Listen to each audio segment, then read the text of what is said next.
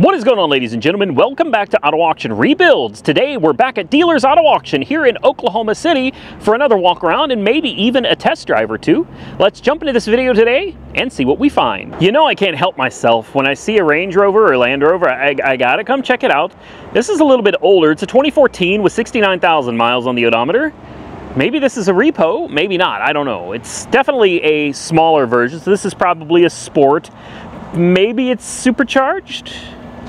Maybe it's not. We're going to find out as soon as we get around to the back here. Somebody plasti dipped the wheels. That's always not nice. This is supercharged. Yes, it is. I don't know very much about Land Rovers and Range Rovers. All I know is that I've owned quite a few of them, and I, I really like them. The, the only problem I have with them is that they're unreliable. They break, and well, when they break, even if you do the work yourself, just ask Samcrac, uh, they're still quite expensive. like, they're still expensive to maintain, even if you do the maintaining yourself, and not particularly easy to work on either. Uh, I watched Samcrac about break his hand in an attempt to get injectors out of the cylinder heads on these, so yeah, it's definitely something to be aware of. This one smells really bad. Um, yeah, if I was to give you an example of what this one smells like, it's cigarettes mixed with a nice heaping helping of uh, a bunch of Beecham in a spittoon paired with some uh, stale Cheetos would be the best I could give you. All right, just imagine what all of that together smells like and uh, you've got the smell of this one. It's got an engine, so that's good. Unfortunately, when you look at these, there's really not much to see. They, they throw plastic on everything. The hood struts are bad, so you know, I can't, I can't use my right hand because I'm holding the hood up. My left hand is holding the camera, so it's kind of difficult to really, I mean, do much under here. So yeah, it's got an engine, and uh, it says it's, it says it's supercharged.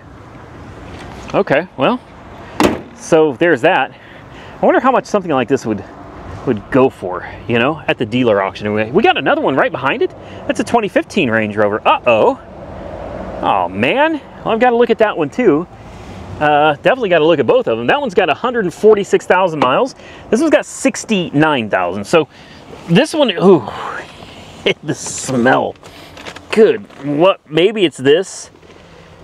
I don't know what that is, but it's rotting. You can clearly see mold. Yeah, it whatever it is smells smells so bad. Oh. Typical Range Rover, right? 69,000 miles and it's broken.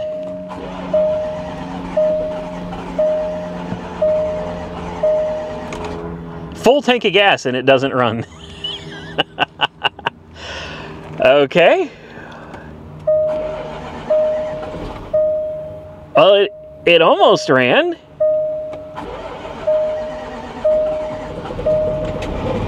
Ooh, there it goes. For a minute, I thought I was hearing rods knocking, man. Good lord, that didn't sound good. Um, needless to say, the check engine light is on. That's, that's not very surprising. I'm, I'm glad that it runs, though. For a minute, I really didn't think it was going to. Yeah, I'm gonna say for 69,000 miles, this one's this one's gonna be a little on the rough side, guys. Let's see if the power windows work. The important window works. Less important window. It works. All right. And back to the instrument cluster. Give it a little rev. Yeah, it, it, sounds fine. It does. You've got this little touch screen here with a with a camera. I wonder what happens when you push the camera. Oh, there you go. You can see cameras. Parking. Oh, oh, I, I smell head gasket. See, I tell you guys all the time that these things are notorious for head gaskets, and you guys come back in the comments and you yell at me, and you're like, I don't know where he gets his information from uh, Range Rovers, Land Rovers are not known for blown head gaskets. Yeah, they are. yeah, they are, because I can smell the head gaskets blown right out of the... Look at this.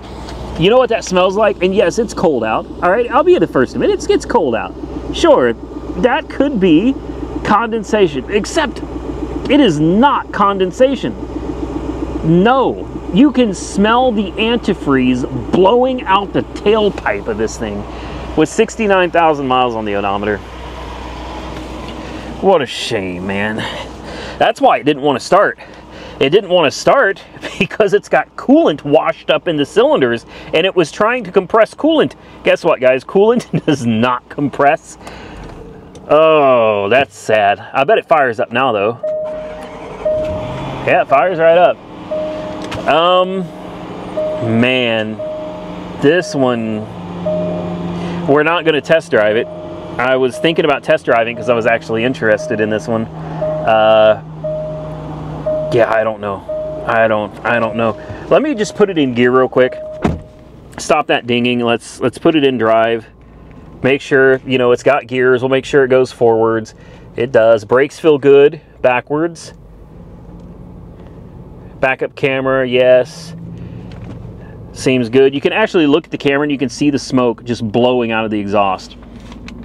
Like just just look at that. Just bellowing of the exhaust.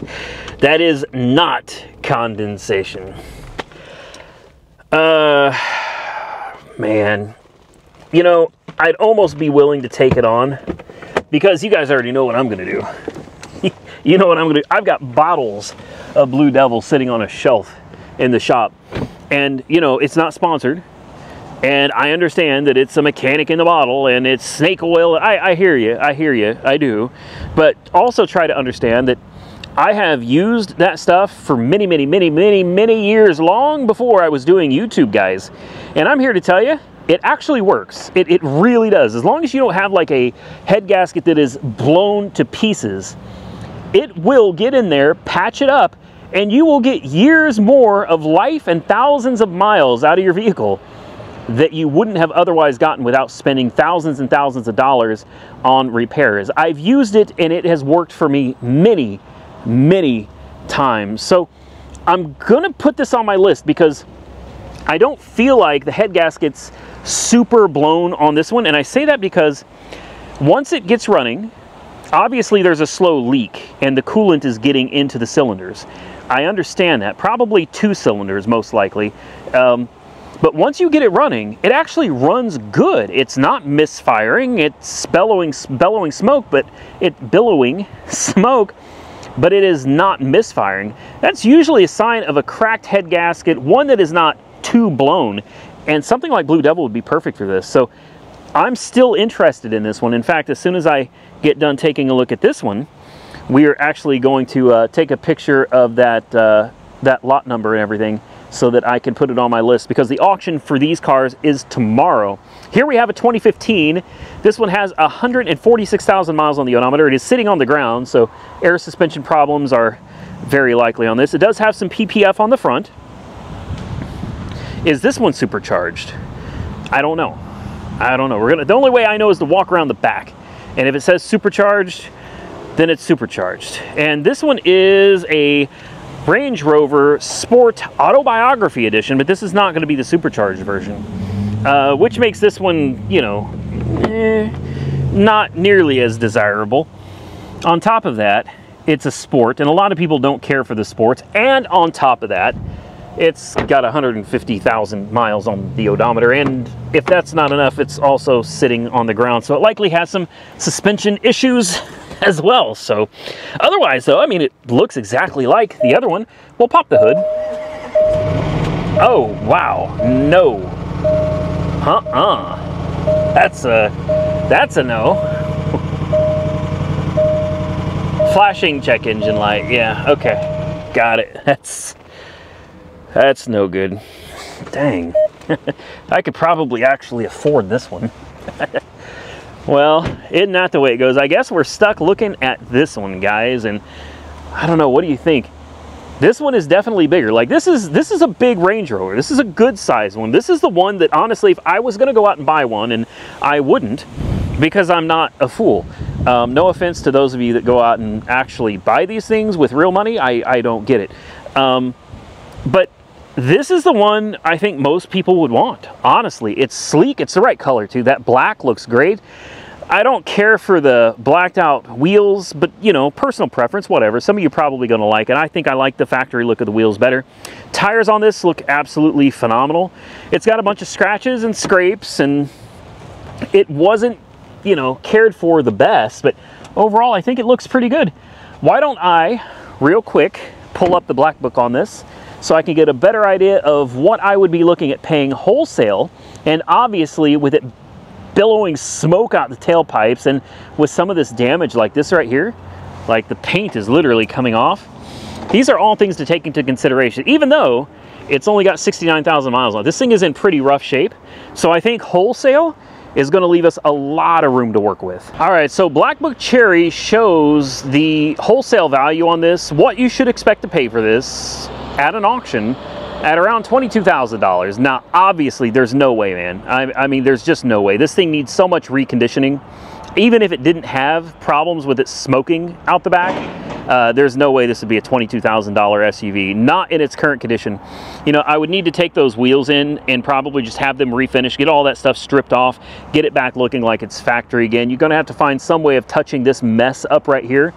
Uh, yeah, I don't even know. I mean, the paint's just flaking and peeling. This should just be a separate plastic trim piece that you could pop out, sand it down, repaint it. Um, but I mean, even after you address all that, you, you still have the big problem, which is the fact that you've got smoke blowing out of the exhaust. It's going to make it very difficult to sell um, anywhere. So, you know, here's what I'm thinking people that are going to be bidding on this, you're going to see that smoke. You know exactly what it is because you can smell the head gaskets literally burning out of the tailpipes.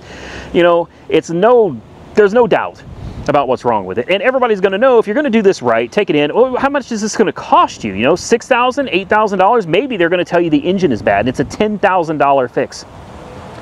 That really is going to hurt the value. And most people that are going to be bidding on this are going to have to assume the worst so if I could get this for $10,000, this one, I am now, all the other cars that I've looked at out here this week, I have now pushed them off, including the GTI. I'm no longer interested in the GTI. I'm actually interested in this Range Rover.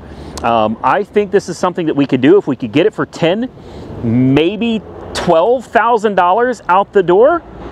This is one I want to bring to the channel, and I want to find out if Blue Devil can fix this 10,000 plus dollar engine. Oh boy. What is this, a CLK? And a Volvo sitting right next to it. This is a finance company, so most likely this is a repo with 226,000 miles on the odometer. Wow. According to this, it is a CLK 55. If that is true, I am very interested in this car. It is older, it's got high miles, it's rough, the window's left down. Does it even have a window? It does, it's got a window. The window is has been left down. I would be very interested in this because this isn't going to bring anything. Nobody wants this. What dealership is going to put this on their lot? Well, mine. I, I would. I would put this on my lot. If it's a real CLK 55, I'm willing to bet you money somebody threw that sticker on there. It's probably a CLK 320.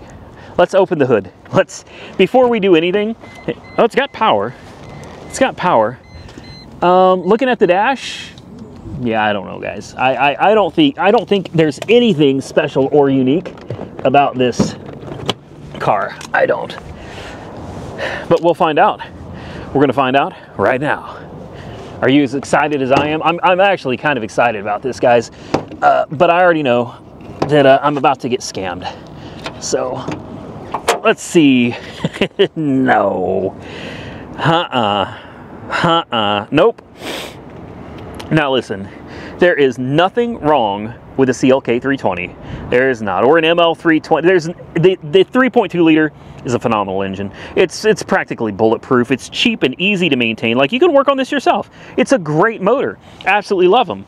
With that said, would I be interested in a quarter of a million mile CLK 320? No. No, I don't want easy to work on and cheap and reliable. I want lots of horsepowers, lots of Turks, and very expensive to maintain and impossible to work on yourself. So for that reason, I'm out. Sharks if you guys didn't catch the reference. Let's check out this Volvo next to it because everybody seems to love Volvo. I had one guy the other day, he actually told me he was unsubscribing from my channel because I hate Volvos.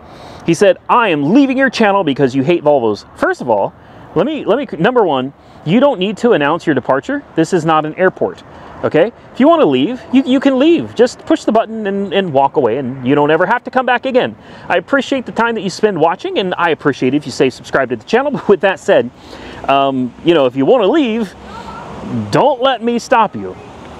Next, I never said I hate Volvos. Never. Not ever did I say I hate these cars.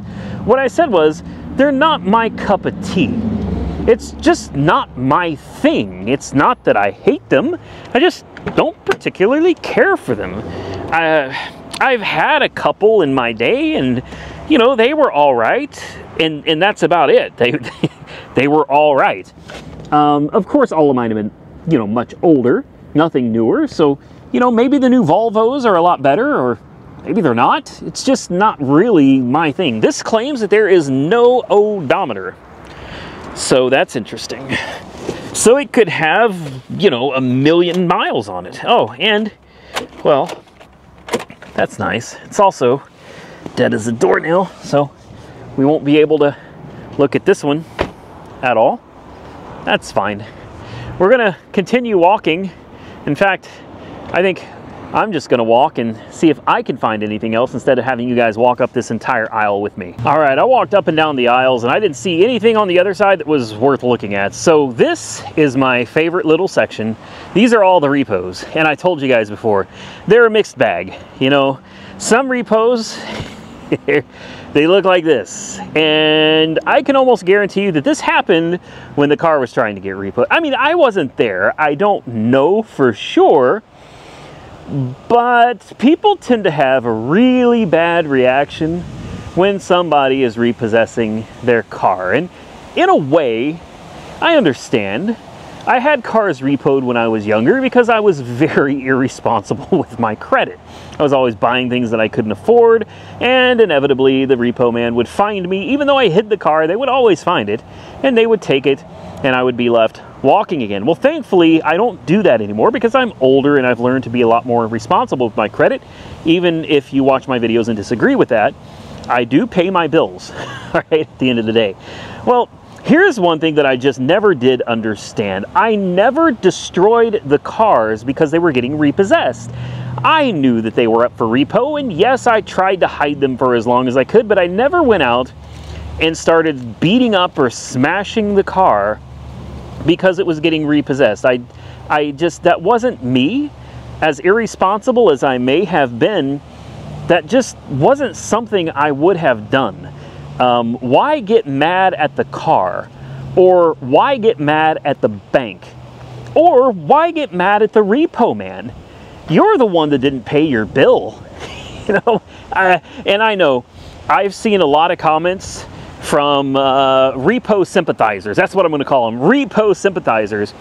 And they come at me like, yeah, the banks get what they deserve. Here's a great one. Here's my favorite um, rebuttal to people destroying their cars when they're getting repossessed. My favorite rebuttal to that is, that's what those banks get for their high interest rates. They're ripping people off with their subprime lending. Really? Really? Is that what it is? Are we now, this is what I love about a, a lot of things in our society today, is we have a tendency to blame the victims and make it their fault, and then we praise the people that are actually out there doing wrong, the villains. Like we're out there praising villains and blaming victims. You know, I don't, I don't, I just don't know. Here's another one, another repossession, and this is, this looks like when someone just, they just, they just went ham on it. You know, it, does subprime lending exist? Absolutely, man. There's there are banks out there that are charging people 21% interest on a car. Uh, imagine $30,000 over seven years at 21% interest. Is that predatory lending? Yes. Do I agree with it? No. No, I don't. Obviously, I don't. But here's the thing it's not the bank that forced the person to sign the contract. And I hear all the time, well, hey, Randy, people get desperate. They need a car. I understand. I do. Believe me. I like I said, I've had cars repossessed in the past. I get it. You need a car, you know you can't afford it. You probably know from the beginning when you sign the paperwork that you're going to take off with that car and run. Look, here's another one. Again, completely smashed up. This is a theme. So the bank did not force you to sign that note. Even, even if it was subprime, subprime lending at 21% interest, somebody had to sign that promissory note. Somebody agreed to the terms and said, I agree to buy this car and pay you for it, and then they didn't. So at the end of the day, is it the bank's fault because your credit was so bad that they offered you 21% interest because they knew you were probably not going to pay your bills and run with the car? No. That's the cost of giving somebody credit that honestly doesn't deserve credit. And if you sign on that dotted line, that is not the bank's fault, that's your fault. And the people that think the bank deserves this, smash that car, teach that bank a lesson, you know what you're doing? You're actually hurting the rest of us. That's what you're doing. You're hurting everybody else. You think it hurts the bank? Not really. and if it does, if anything hurts the bank, guess what? The bank is going to be kind enough to pass that hurt right on down the line to the next batch of consumers. You are not going to hurt banks. You will not hurt these lenders because if you do, they'll pass it on to the next guy and they will compensate for that hurt. So here's what ends up happening. You smash up your car, you destroy it because you're going to teach that bank a lesson. Well, you didn't. In fact, you just hurt yourself even worse because they're going to send that car to an auction just like this. All of these cars sitting here, these are all repossessions. All right, some of them looks like they were nice enough to let the cars go peacefully. Some of them were probably even voluntarily repossessed, meaning you can turn the car over to the bank, say, I can't pay for it, and you work out a deal with the bank to, to give them the car back peacefully. If you go out and you smash your car and you destroy it to teach that bank a lesson, you screwed yourself. Because now, instead of this car bringing, let's say, $25,000 at auction, you smashed it. Now it's going to bring $8,000, $10,000 at auction because nobody wants it. It's, it's, it's, it's a parts car now. Well, they're going to sell it for that $8,000 and then they're going to sue you for the remaining balance on your loan. And by the way, they will sue you with the interest continuing. In a lot of states, they allow that. In a lot of states, they will allow you to be sued and the interest continue compounding on the loan. So you hurt yourself. And you can say, well, I'm never going to pay for it. Great. Don't pay for it. It's going to stay on your credit and it's going to make it very difficult for you ever to be able to get your act together, get your credit together, and be able to buy a house or go out and buy any other car at a reasonable interest rate. So keep that in mind. The bank didn't make you sign the paperwork. You didn't pay your bill, your car got repossessed. All right, there's no reason to go outside and try to shoot or beat up the tow truck driver. What did he do? He has a job to do. All right, we all have jobs. Well, most of us have jobs. People are out there doing their jobs. You don't need to be going out there trying to cause them problems. All right, if you didn't pay your bills, that's on you and nobody else but you. It is not the bank's fault that you signed a note that you later decided or were unable to follow through with. And that's all there is to it. You will not convince me otherwise, and I do not partake in any of this crap that we see today of blaming the victim and the bank has enough money, they can afford it. Are you kidding me? The bank has enough money and they can afford it. You know how many people have said something similar to me? Well, Randy, you shouldn't worry about it. It's only a few hundred dollars. You make good money. What's a few hundred dollars to you? Well, I'm going to tell you, I don't care how much money I make. I could make a million dollars in a year, and if I see $300 missing out of my bank account or if somebody takes $300 from me, I'm going to notice it. I'm going to figure out where it went. I'm going to do whatever I can to get it back because I don't care how much money I make. $300 will always be $300, and to me, it will always be a lot of money. And I'm pretty sure the banks probably feel the same way. I don't partake in this blaming the banks because they had high interest rates. It is not the bank's fault that you had bad credit. It's not the bank's fault that you did not pay your bills. That's your fault. So to take it out on the car, it makes no sense. You smash your car and then you get less money out of it at auction, which means you owe the bank more money with continuing interest on the loan that you didn't pay. All you're doing is making it worse for everybody else. With that, I'm going to get out of here. I hope most of you agree with me. If you do, hit the thumbs up button. Let me know that there are still sane people that exist in this world, and it's not just me. Be sure to drop your comments down below. Subscribe to the channel if you haven't already subscribed. And until next time, stay safe out there, everybody. I look forward to seeing you all again very soon in the next one.